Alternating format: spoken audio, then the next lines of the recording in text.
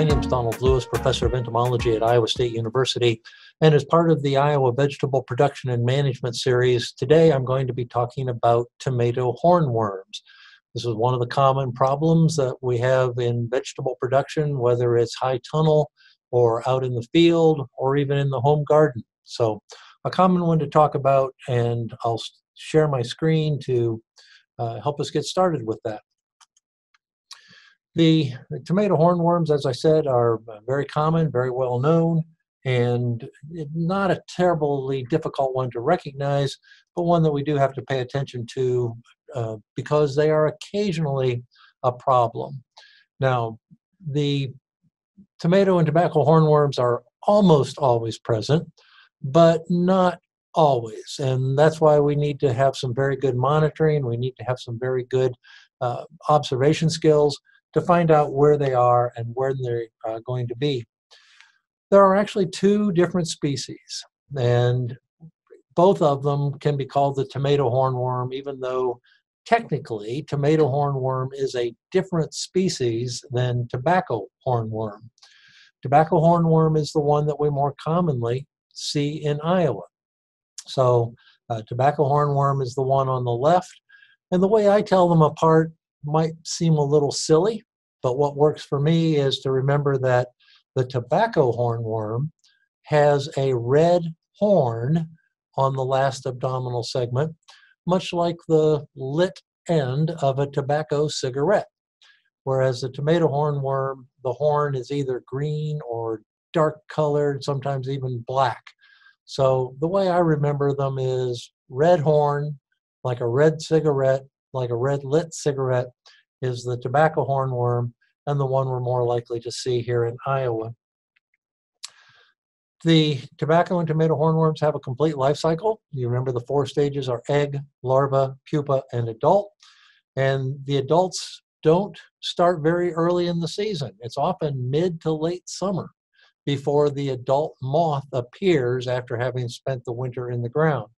They're a large moth, four to five inch wingspan. They're active at night.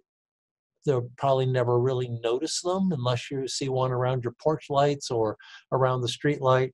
But they're a large moth that visits the tomato plants and picks out out of all the plants in the world picks out the tomato plants or the potatoes or the peppers where they she will lay her eggs and lay eggs are laid on the undersides of the leaves those eggs then hatch into really teeny tiny hornworm caterpillars.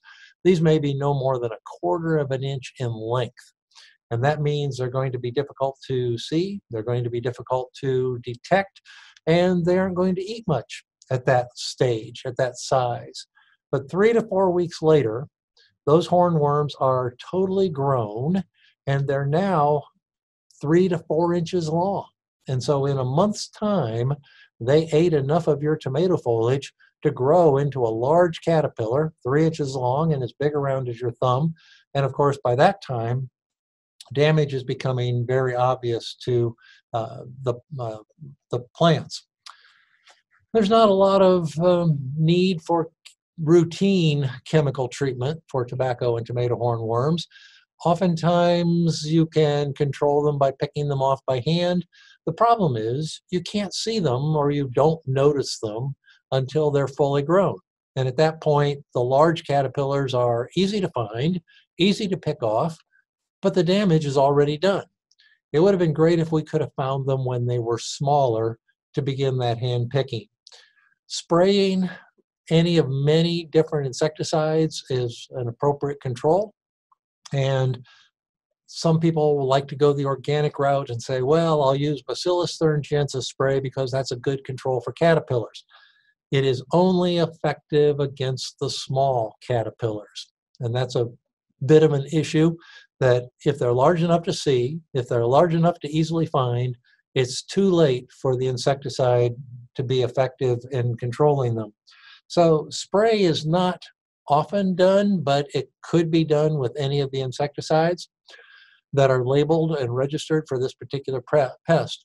Speaking of uh, insecticide sprays, a brief reminder that we do have a Midwest vegetable production guide, and it is divided by crop.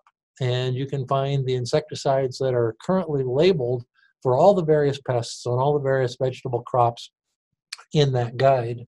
After the caterpillars are grown, they will drop to the ground or they'll drop to the soil where they crawl in through a crack and they make a pupa that is fairly large. It's about an inch and a half to two inches long. It's bullet shaped. And then it has this particular feature of the mouth parts forming like a jug handle off the head end of the pupa. Pupa waits through the winter and wriggles, the moth then wriggles out of that pupa the following year and comes to the surface and climbs out to fly around to look for tomato plants and start the process over. So one generation per year, but because moths don't all emerge at the same time and because they lay their eggs over a long period of time, you can find caterpillars of several different sizes. It looks like there may be overlapping generations, but it's really just one generation extended out over time.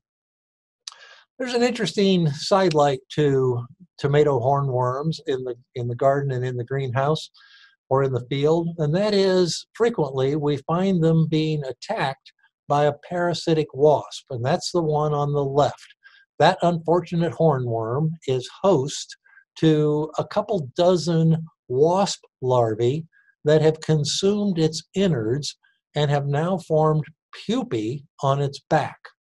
So this is a story that starts with a very small non-stinging wasp who looks over your tomato field and finds the tomato hornworm and lays a couple dozen to three dozen eggs inside of that caterpillar. And you can see that wasp has emerged from the pupa. You can see the stinger coming off the end of the abdomen. And those eggs then hatch inside the caterpillar body and develop into larvae that eat the inside of the caterpillar. When the wasp larvae are full grown, they chew out of the caterpillar and make their cocoon on the back. So these are not wasp eggs, these are wasp cocoons that have come out and um, uh, of a caterpillar that is nearly dead and nearly gone. But the interesting thing about this is okay, it's nice to know, it's fun to see that that caterpillar died, but we really don't get much biological control out of this particular insect. Well, tobacco hornworm, tomato hornworm is a common pest that you're going to see uh, probably every year or occasionally. Remember, they start out as a moth at the beginning of the season. They then lay eggs that hatch into little tiny caterpillars, which feed for three to four weeks, either on the foliage of tomatoes, peppers, potatoes, and related plants, occasionally chomping right into the little green tomatoes. Damage where the leaves are gone is sometimes easy to see. And by that time, the caterpillars are grown and control is going to be less effective. Stay tuned for more videos in this series, but for now, we'll call that it.